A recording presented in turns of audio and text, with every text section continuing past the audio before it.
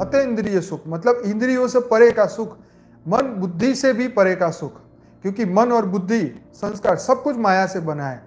तो माया में सच्चा सुख नहीं है। तो यहाँ क्या कहा है? यदि किसी का मन अनंत और सर्वव्यापी हो जाए तो आनंद भी असीम होगा। बहुत बात, बहुत गहरी बात।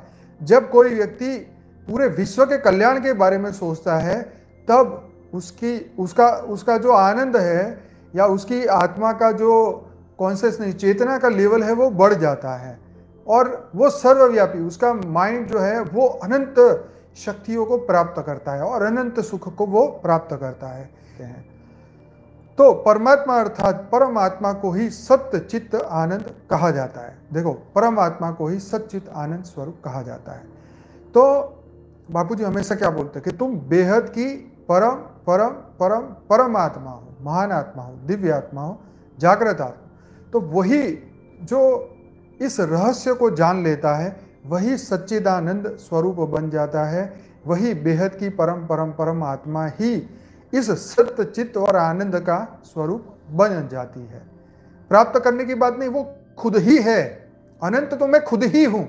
तुम्हारी डेफिनेशन अलग हो सकती है, मेरी डेफिनेशन अलग हो सकती है, मेरा नाम अलग हो सकता है, आपका नाम अलग हो सकता है, पर मैं वही हूँ। ये आपको पता होना चाहिए। सत्य, चित्त, आनंद मेरे खुद का ही स्वरूप है। इसीलिए परमात्मा को सच्चिदानंद कहा गया है, क्योंकि परमात्मा ही संपूर्ण सत्य है संपूर्ण चेतना है संपूर्ण सुख है केवल मनुष्य ही इस सच्चिदानंद को प्राप्त कर सकता है अन्य जीव नहीं। ये तो आप सब जानते हैं कि चौरासी लाख योनि में मनुष्य के पास कर्म करने का अधिकार है और जो श्रेष्ठ कर्म करता है वो इस इस रूप को भी पा लेता है। की परम शांति सोचो बोलो परम शांति Join us daily for live meditation, 10 p.m. to 11 p.m. on YouTube Live. Subscribe now. Website www.paramshanti.org.